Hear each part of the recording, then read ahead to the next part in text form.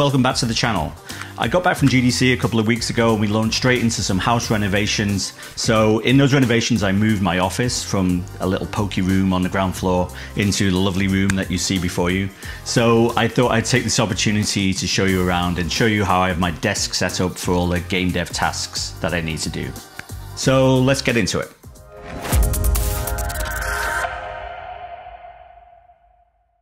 Let's start with the bones of the setup, which is this rather plain and ordinary desk that you see behind you. I was thinking of upgrading to a standing desk in my new office, like one of those swanky Secret Labs desks, but I think a wood finish looks much better in this room than something with a gamer aesthetic.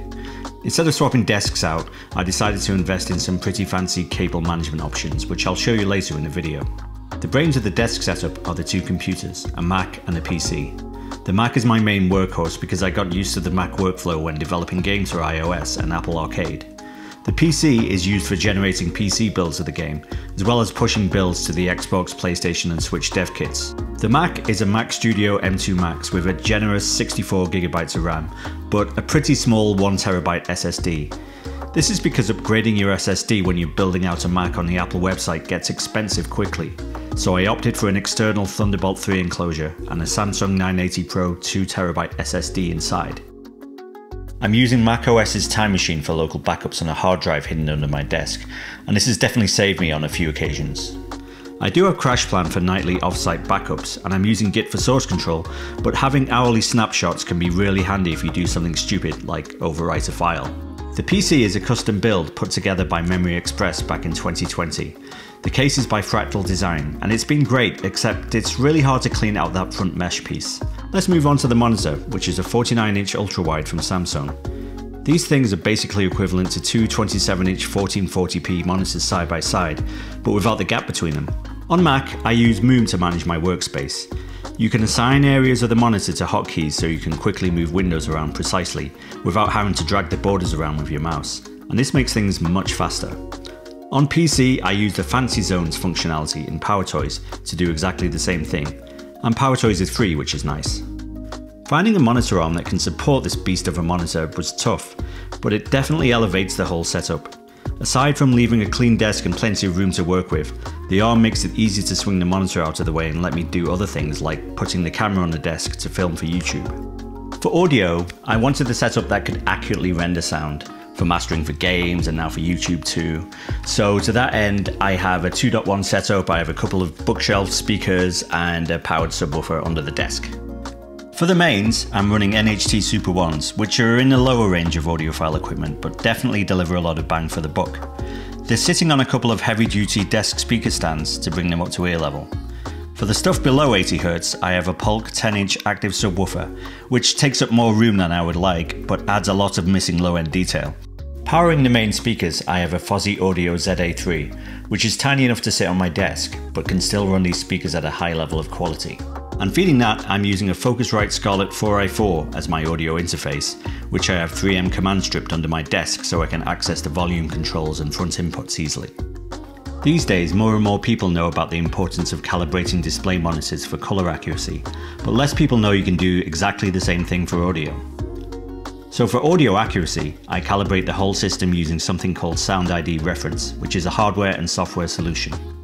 With Sound ID Reference, you take measurements around your room using a special reference microphone that's been individually measured for frequency response.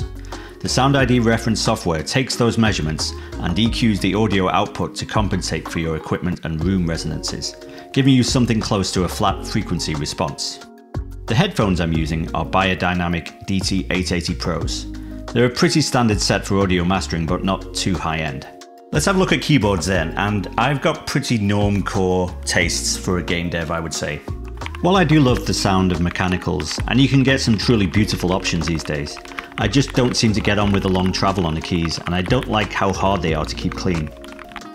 These chiclet style keyboards, like this Apple one here, just seem to gel better with my typing style, plus you can wipe them clean pretty easily. I also have a Logitech MX Keys keyboard, which can hot swap between three devices and can be used for both Mac and PC layouts, but I only use that on the PC side. I found that having two separate keyboards for Mac and PC really helps my muscle memory kick in when I'm using the different modifier keys like Command and Option on Mac and Alt on PC. For the mouse, I'm running the exact same model that everyone on YouTube seems to be using at the moment, the MX Master 3, which is just a really solid option. You can probably see that the finish wears over time, though I've had this one for a few years now.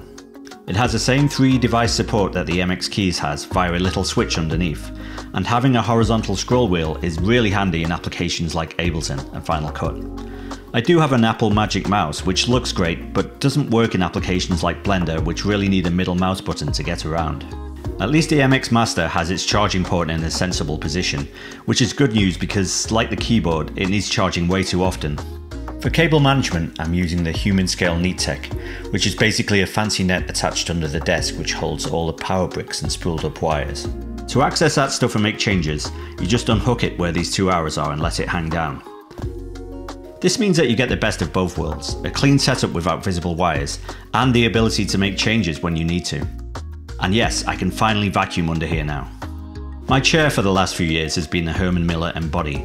This is definitely an expensive option, but it did come with a 12 year warranty so hopefully it'll be worthwhile in the long run. If you're shopping for a decent office chair, you should know that a lot of places will let you demo the chair for a week or two at home, which I did with this one and a couple of others at the time. And that's about it for this Game Dev Desk Tour. If you have any questions or suggestions for my desk setup, then please feel free to leave them down below in the comments. Other than that, I'll see you next time on Indie Dev Lab. Thanks.